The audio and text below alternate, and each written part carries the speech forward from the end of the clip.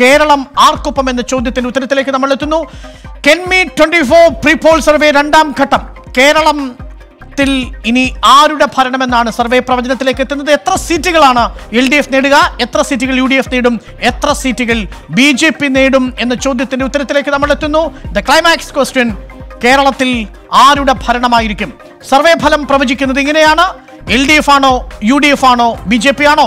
This is the final result Keralam രണ്ടായിരത്തി ഇരുപത്തിയൊന്നിൽ നിയമസഭാ തെരഞ്ഞെടുപ്പിന് ശേഷം എൽ ഡി എഫ് എഴുപത്തിരണ്ട് മുതൽ എഴുപത്തി ഏഴ് സീറ്റുകൾ വരെ നേടുമ്പോൾ യു ഡി എഫ് അറുപത്തിമൂന്ന് മുതൽ അറുപത്തി ഒൻപത് സീറ്റുകൾ വരെ എൻ ഡി എക്ക് പരമാവധി ലഭിച്ചേക്കാവുന്ന സീറ്റുകൾ രണ്ട് മിനിമം ഗ്യാരണ്ടി ഒന്ന്.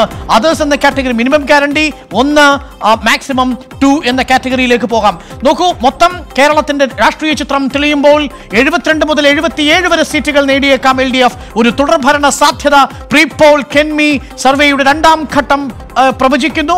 ആന്റി ഇൻകംബൻസി ഓൾമോസ്റ്റ് നിൽ പക്ഷെ അതേസമയം തന്നെ യു ഡി എഫിന് ശക്തമായ ഒരു ചലഞ്ച് കൊടുക്കാൻ സാധിക്കുന്നു വടക്കൻ കേരളത്തിൽ മധ്യ കേരളത്തിലും ദക്ഷിണ കേരളത്തിലും എൽ ഡി എഫിന്റെ ആധിപത്യം. യു ഡി എഫ് അറുപത്തിമൂന്ന് മുതൽ അറുപത്തി ഒൻപത് സീറ്റുകൾ വരെയും എൻ ഡി എ ഒന്ന് മുതൽ രണ്ട് വരെ സീറ്റുകൾ വരെയും മറ്റുള്ളവർ ഒന്ന് മുതൽ രണ്ട് വരെ സീറ്റുകൾ നേടാനുള്ള സാധ്യതയുണ്ട് എന്നാണ് കണക്കുകൾ പറയുന്നത്. വിജയകുമാർ ഗോപികൃഷ്ണൻ ഈ കണക്കുകളാണ് ട്വന്റി ഫോർ പ്രീപോൾ സർവേ രണ്ടാം ഘട്ടം. ഒരു ഭരണ തുടർച്ച പ്രവചിക്കുന്നു. പ്രീപോൾ സർവേ രണ്ടാം ഘട്ടം. വിജയകുമാർ ആൻ ഗോപികൃഷ്ണൻ. അരുൺ എനിക്ക് തോന്നുന്നു നമ്മളെ തുടക്കത്തിലെ വോട്ടിനെ സ്വാധീനിക്കുന്ന മുഖ്യ വിഷയങ്ങളിൽ തുടങ്ങി ഏറ്റവും ഒടുവിൽ നമ്മൾ ഈ തെരഞ്ഞെടുപ്പിന് ശേഷം ആര് മുഖ്യമന്ത്രിയാകണം ഏത് മുന്നണിയുടെ സ്ഥാനാർത്ഥി വിജയിക്കണം എന്ന് തുടങ്ങിയുള്ള വളരെ പ്രധാനപ്പെട്ട ചോദ്യങ്ങളിലൂടെ കടന്നുപോയാണ്. കേരളത്തിൽ ഈ വരുന്ന നിയമസഭാ തെരഞ്ഞെടുപ്പിൽ ആർക്കായിരിക്കും മുൻതൂക്കം കിട്ടുക എന്ന ഒരു പ്രവചനത്തിലേക്ക് നമ്മൾ എത്തിയിരിക്കുന്നത്. സ്വാഭാവികമായും ഈ സർക്കാരിന് അനുകൂലവും പ്രതികൂലവുമായ ചോദ്യങ്ങൾ അതിനകത്ത് ഉൾപ്പെടുത്തിയിരുന്നു. പ്രതിപക്ഷത്തെ സംബന്ധിച്ച് അവർക്ക് അനുകൂലമായിട്ടുള്ളതും പ്രതികൂലമായി നിൽക്കുന്നതുമായ ചോദ്യങ്ങൾ നമ്മൾ ഉയർത്തിയിരുന്നു. അതോടൊപ്പം തന്നെ കേരളം ചർച്ച ചെയ്യുന്ന പ്രധാനപ്പെട്ട രാഷ്ട്രീയ വിഷയങ്ങളിന്മേൽ ഏത് തരത്തിലുള്ള അഭിപ്രായമാണ് ജനം രേഖപ്പെടുത്തുന്നത് എന്ന കാര്യം നമ്മൾ ചോദിച്ചിരുന്നു. ഇതിന്റെ എല്ലാം അടിസ്ഥാനത്തിൽ ഉണ്ടാക്കി വന്നിട്ടുള്ള ഉണ്ടായി വന്നിട്ടുള്ള ഒരു ഫലമാണ് നമ്മൾ ഇവിടെ പറഞ്ഞിരിക്കുന്നത്. സ്വാഭാവികമായും ഇടതു മുന്നണിക്ക് ഒരു മുൻതൂക്കം ഈ സർവേ പ്രവചിക്കുന്നുണ്ട്. എഴുപത്തിയേഴ് സീറ്റ് വരെ പരമാവധി ഇടതു മുന്നണിക്ക് കിട്ടിക്കൊണ്ട് ഒരു ഭരണ തുടർച്ചയ്ക്കുള്ള സാധ്യത നിലനിൽക്കുന്നു എന്നാണ് കേരളത്തിലെ നൂറ്റിനാൽപ്പത് മണ്ഡലങ്ങളിലും നമ്മൾ നടത്തിയിട്ടുള്ള സർവേയുടെ ഫലം പറയുന്നത്. ഇത് പൂർണമായും നമുക്കറിയാം സർവേ ഫലങ്ങൾക്ക് എപ്പോഴും നമ്മൾ അതിനകത്ത് ഒരു ഒരു സ്പേസ് ഇടാറുണ്ട്. അതിനുശേഷമാണ് പിന്നീട് നമുക്ക് അതിന്റെ യാഥാർത്ഥ്യം എങ്ങനെയാണെന്ന് മനസ്സിലാക്കാൻ കഴിയുക. പക്ഷേ പൊതുവിൽ കേരളത്തിലെ രാഷ്ട്രീയ വികാരം എന്നാണ് പൊതുവിൽ ജനമനസ്സ് എങ്ങോട്ടാണ് നിൽക്കുന്നത് എന്ന് പ്രവചിക്കുകയാണ് ഈ സർവേ ഫലം. ഇടതുമുന്നണിയെ സംബന്ധിച്ച് അവർ വികസനത്തിലൂന്നി നടത്തുന്ന അവരുടെ പ്രചാരണ പരിപാടികൾ ഫലം കാണാൻ സാധ്യതയുണ്ട് എന്ന് ഈ സർവേ ഫലം പറയുന്നു. അതേസമയം തന്നെ ഒരു ടൈറ്റ് ഫൈറ്റിനുള്ള സാധ്യത ഇപ്പോഴും കേരളത്തിൽ അവശേഷിക്കുന്നുണ്ട് എന്ന് പ്രതീക്ഷ നൽകുന്നതാണ് യു ഡി എഫിനെ സംബന്ധിച്ച്. ബി ജെ പിയെ സംബന്ധിച്ച് രണ്ട് സീറ്റ് വരെ കേരളത്തിൽ നേടാൻ കഴിയുന്ന രാഷ്ട്രീയ സാഹചര്യം അവർക്ക് അനുകൂലമായി നിൽക്കുന്നു എന്ന് നമുക്ക് ഈ സർവേ ഫലത്തിൽ നിന്ന് പറയാൻ ആനന്ദൻ കേരളത്തിന്റെ ഏറ്റവും ഒടുവിലത്തെ കണക്കുകൾ സമീകരിക്കുമ്പോൾ പരമാവധി നേടാൻ സാധിക്കുന്നത് എഴുപത്തിയേഴ് സീറ്റുകൾ എന്ന് പറയുന്നു. ഒരു വ്യക്തമായ മേൽക്കൈ ദക്ഷിണ കേരളത്തിലുണ്ട് തെക്കൻ കേരളത്തിലുണ്ടെന്നും പറയുന്നു. ശ്രീ ആനത്തലവട്ടം ആനന്ദൻ. അല്ല ഈ തദ്ദേശ തെരഞ്ഞെടുപ്പ് കഴിഞ്ഞപ്പോൾ കേരളത്തിൽ തൊണ്ണൂറ്റെട്ട് സീറ്റിൽ എൽ ഡി എഫിന് ഭൂരിപക്ഷമുണ്ട്. ഞങ്ങളുടെ ഈ സർവേ അനുസരിച്ചാണെങ്കിൽ ഞങ്ങൾക്ക് ഏതാണ്ട് ഇരുപത്തിയൊന്ന് സീറ്റ് കുറയണം. അത് വരാനിടയില്ല എന്നാണ് എന്റെ എളിയ അഭിപ്രായം. അത് വരാത്ത രീതിയിലുള്ള പ്രവർത്തനങ്ങളാണ് നടക്കാൻ പോണതും നടക്കുന്നതും എന്ന കാര്യം ഞാൻ ഈ അവസരം ഓർമ്മപ്പെടുത്തുന്നു. ഇവർ ഈ പറഞ്ഞ പ്രതികൂല ഘടകങ്ങളൊക്കെ ജനങ്ങൾ പ്രതികൂലമായി കണ്ടിട്ടുള്ളതല്ല. ഈ പ്രതികൂല ഘടകങ്ങൾ യു ഡി എഫിന്റെയും അതുപോലെ ബി ജെ പിയുടെയും മനസ്സിലുള്ള പ്രതികൂല ഘടകങ്ങളാണ്. അതെല്ലാം കൊണ്ട് ജയിക്കാൻ കഴിയുമെന്നാണ്. അവസാനം രാഹുൽ ഗാന്ധി കടലിൽ ചാടിയതുപോലെ ഇവർ പലരും കടലിൽ ചാടേണ്ടി വരും. ഇപ്പോൾ ഈ പൂർണമായ ആത്മവിശ്വാസം വരെ വെച്ചുകൊണ്ട് അവരവർ ജയിക്കും അധികാരത്തിൽ വരും എന്നിപ്പോൾ ഈ തിരുവനന്തപുരം ജില്ലയിലെ കോൺഗ്രസിന്റെ നേതാവ് പറഞ്ഞല്ലോ മുഴുവൻ സീറ്റും അവർ തൂത്തുവാരുമെന്ന് അങ്ങനെ പറയുന്ന ആളിന് വേറെ എന്താ മാർഗം രാഹുൽ ഗാന്ധി ചെയ്യുന്ന ഉള്ളൂ കടലിൽ ചാടുക. ആ മാർഗമായിരിക്കും യു ഡി എഫിന് സംഭവിക്കാൻ പോവുക എന്നാണ് എനിക്ക് സൂചിപ്പിക്കാനുള്ളത്. അതിനുശേഷം തദ്ദേശ തെരഞ്ഞെടുപ്പിന് ശേഷം ഈ ഗവൺമെന്റിന് നെഗറ്റീവായി ചൂണ്ടിക്കാണിച്ച ഈ മത്സ്യബന്ധനം അതുപോലെ റാങ്ക് ഹോൾഡേഴ്സിന്റെ സമരം. തിരുവനന്തപുരം ജില്ലയിലാണ് അതിന്റെ പ്രധാനമായും റാങ്ക് ഹോൾഡേഴ്സിന്റെ സമരം കേന്ദ്രീകരിച്ചത്. അതിലൊക്കെ ഗവൺമെന്റ് എടുത്ത നിലപാടെന്ത് അതിന്റെയൊക്കെ ന്യായാന്യായത എന്ത് എന്ന് കോൺഗ്രസിനും ബി ജെ പിക്കും നമുക്കും എല്ലാം വിശദീകരിക്കാനാണ് ഒരു മാസം ശ്രീ സന്ദീപ്. വാര്യർ. ജനങ്ങളുടെ മുമ്പിൽ അത് എഴുപത്തിയേഴ് സീറ്റുകൾ തൊണ്ണൂറ്റി ഒന്നിൽ നിന്ന് എഴുപത്തിയേഴിലേക്ക് എൽ ഡി എഫിന്റെ ഭൂരിപക്ഷം കുറയും എന്നുകൂടി ഈ സർവേ റിസൾട്ടിനെ വായിക്കാം. ഒരു കാര്യം കൂടി സന്ദീപിന് ആശ്വസിക്കാവുന്ന ഒരു കാര്യം. കഴിഞ്ഞ തവണത്തെ പതിനാല് പോയിന്റ് എട്ട് ആറ് എന്ന ശതമാനത്തിൽ നിന്ന് പതിനേഴ് പോയിന്റ് അഞ്ച് ശതമാനത്തിലേക്ക് ബി ജെ പിയുടെ വോട്ട് പെർസെന്റേജ് വളരും എന്നുകൂടി സർവേയിൽ പറയുന്നുണ്ട്. വോട്ട് പെർസെന്റേജ് കൂടെ നോക്കിയാൽ ബി ജെ പി രണ്ടര ശതമാനത്തിന്റെ വർധനമുണ്ടാക്കുന്നുണ്ട് ശ്രീ സന്ദീപ് വാര്യർ നിങ്ങൾ ഈ വടക്കൻ കേരളത്തിലെ നിങ്ങളുടെ പ്രൊജക്ഷൻ ഒന്നുകൂടി ഒന്ന് പറയാമോ കാരണം ഞാൻ ആ സമയത്ത് ഉണ്ടായിരുന്നില്ല. വടക്കൻ കേരളം. വടക്കൻ കേരളത്തിൽ യു ഡി എഫിന് എൽ ഡി എഫും തമ്മിലുള്ള ഒരു മത്സരം വളരെ ടൈറ്റ് ആയിരിക്കും എന്നാണ് സർവേ വടക്കൻ കേരളത്തിൽ. ശ്രീ സന്ദീപ് വാര്യർ വടക്കൻ കേരളത്തിൽ ഇടത് മുന്നണിക്ക് ഇരുപത്തിയെട്ട് മുതൽ മുപ്പത് സീറ്റ് വരെ. Twenty eight twenty eight to thirty വടക്കൻ കേരളത്തിൽ ഇടത് മുന്നണിക്ക് ഇരുപത്തിയെട്ട് മുതൽ മുപ്പത് സീറ്റ് വരെ യു ഡി എഫിന് ഇരുപത്തിയേഴ് മുതൽ ഇരുപത്തിയൊൻപത് സീറ്റ് വരെ എൻ ഡി എക്ക് ഒരു സീറ്റ് പൂജ്യം മുതൽ ഒന്ന് വരെ. ഇതാണ് ഞങ്ങളുടെ പ്രൊജക്ഷൻ യാ പൂജ്യം മിനിമം ഇല്ല. ഇനി- തെക്കൻ കേരളത്തിൽ ഒന്ന് പ്രൊജക്ഷൻ ഒന്നുകൂടി പറയും തെക്കൻ കേരളം.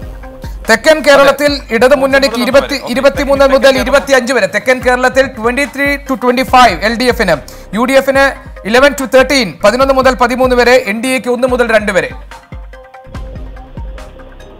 അങ്ങനെയാണെങ്കിൽ ഇപ്പൊ നിങ്ങൾ എൻ ഡി എക്ക് ഒന്ന് മുതൽ മൂന്ന് വരെ എന്നല്ലേ കാണിക്കേണ്ടത്? അല്ലല്ല. അല്ലല്ല. അതല്ല അങ്ങനെയല്ല കേരളത്തിന്റെ സീറ്റ് പ്രൊജക്ഷൻ ഈ മൂന്നിന്റെ രണ്ടിന്റെയും കൂടെ മൂന്നിന്റെയും കൂടി ഒരുമിച്ച് കൂട്ടി ആവറേജ് എടുക്കലല്ലോ സീറ്റ് പ്രൊജക്ഷൻ ഈ സീറ്റ് പ്രൊജക്ഷൻ ഉള്ള വോട്ട് പെർസെന്റേജിനെ നിലവിൽ കൺവേർട്ട് ചെയ്തല്ലേ സീറ്റ് പ്രൊജക്ഷൻ എടുക്കുന്നത്? നമ്മൾ വടക്കൻ കേരളം മാത്രമായിട്ട് എടുത്താലുള്ള സീറ്റാണ് ആ പറഞ്ഞത്.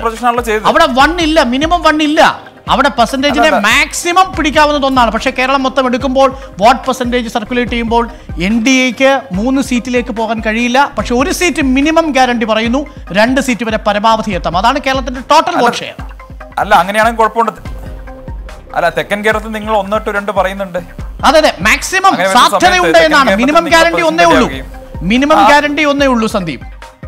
അതെ ഞാൻ അല്ല അങ്ങനെ വരുന്ന സമയത്ത് ഇപ്പൊ നിങ്ങളുടെ പ്രൊജക്ഷനിലെ മാക്സിമം റിസൾട്ട് വന്നെന്നിരിക്കട്ടെ. അല്ല മാക്സിമം എല്ലാം കൂടി ഒരുമിച്ച് കൂട്ടിയല്ലോ സീറ്റ് പ്രൊജക്ഷൻ എടുക്കുന്നത് സന്ദീപ്.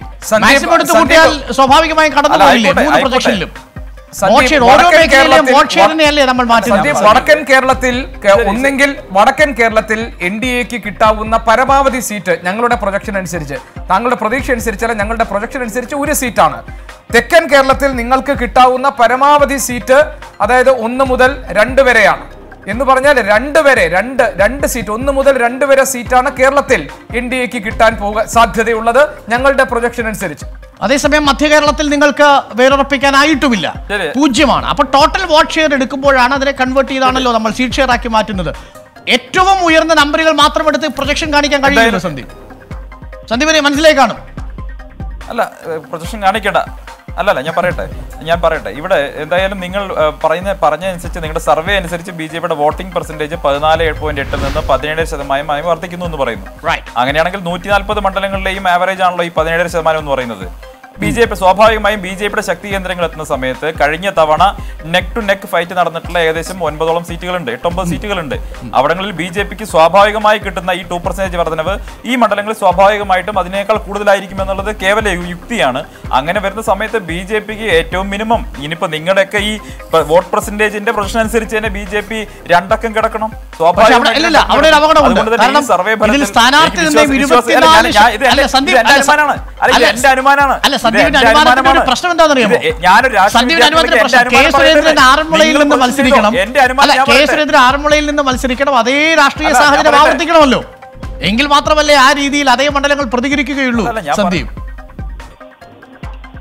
അല്ല അല്ല അല്ല. അതാ- അതാണ് അവിടെയാണ് നിങ്ങളുടെ കുഴപ്പം. കാരണം ബി ജെ പി കൺസിസ്റ്റന്റ് ആയിട്ട് ആ മണ്ഡലങ്ങളൊക്കെ വോട്ട് നിലനിർത്തിയിട്ടുണ്ട്. ബി ജെ പി മഞ്ചേശ്വരത്തെ വോട്ട് എവിടെയും മഞ്ചേശ്വരത്തെ വോട്ട് എവിടെ? മഞ്ചേശ്വരത്തെ വോട്ട് എവിടെ സന്ദീപ്? മഞ്ചേശ്വരത്ത് വോട്ടുണ്ട്. ഭൂരിപക്ഷം എത്രയാ? മഞ്ചേശ്വരത്ത് വോട്ടുണ്ട്. മഞ്ചേശ്വരത്ത് അല്ല ഭൂ അല്ല ഭൂ അതിന് എന്റെ എന്റെ അരുണെ സുരേന്ദ്രൻ നിൽക്കുന്ന സമയത്ത് വോട്ടിനേക്കാൾ അതേ വോട്ട് ഇപ്പോഴും ഉണ്ട്. അവിടെ വലിയ തോതിൽ വോട്ട് വർദ്ധിച്ചിട്ടുണ്ട്. അവിടെ സ്വാഭാവികമായിട്ടും പോളിംഗ് അല്ലല്ല, വോട്ട്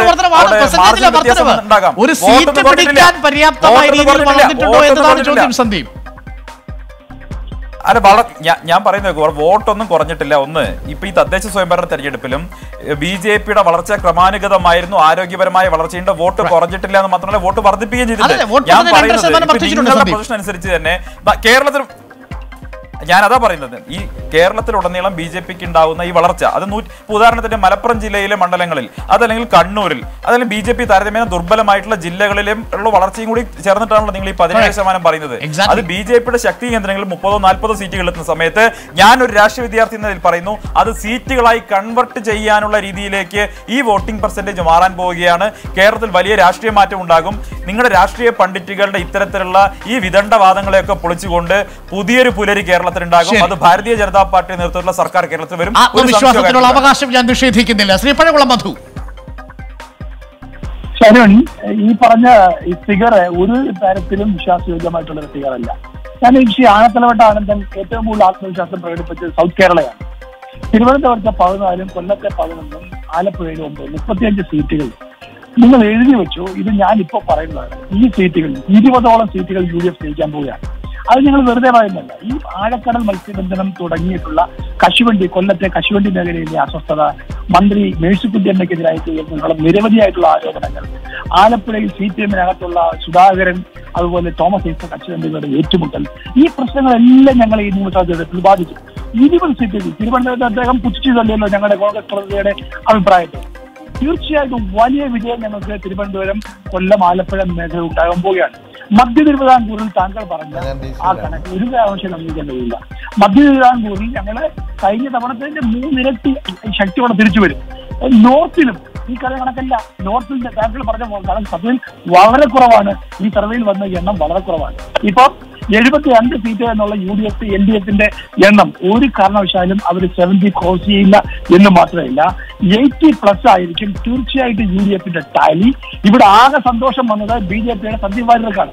രണ്ട് സീറ്റ് കിട്ടുമെന്ന് പറഞ്ഞപ്പോൾ അദ്ദേഹം ഹാപ്പിയായി അദ്ദേഹത്തെ ഹാപ്പിയാക്കാൻ കഴിഞ്ഞു എന്നുള്ളതല്ലാതെ കേരളത്തിലെ ജനങ്ങൾ ചർച്ച ചെയ്യുന്ന പൊതു രാഷ്ട്രീയ സാമൂഹ്യ പ്രശ്നങ്ങളെല്ലാം ശരി. സർക്കാരിനെതിരാണ് എനിക്ക് സർവേ പറയുക പഴകുളം മധുവിനോടും പറയാനുള്ളത് അതേ ഉള്ളൂ. ആത്മവിശ്വാസത്തിനുള്ള അവകാശം ഇന്ത്യയിലെ എല്ലാ പൗരന്മാർക്കും ഉണ്ട് ലോകത്തെ എല്ലാ പൗരന്മാർക്കും ഉണ്ട്. Thank you Shri Pazhakulam Madhu thank you Shri Sandeep Warrier. Thank you Shri Anathalavattom Anandan. ഈ ചർച്ചയിൽ പങ്കെടുത്തതിന് ട്വന്റി ഫോർ കെൻമി പ്രീപോൾ സർവേയുടെ രണ്ടാം ഘട്ടം ഇവിടെ അവസാനിക്കുകയാണ്.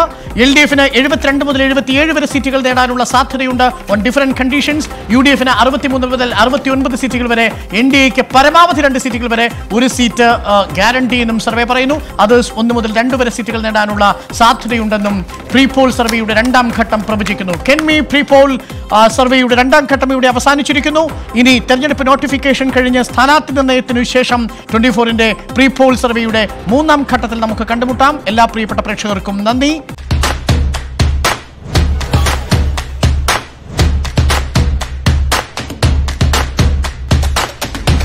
Number 1 election channel 24.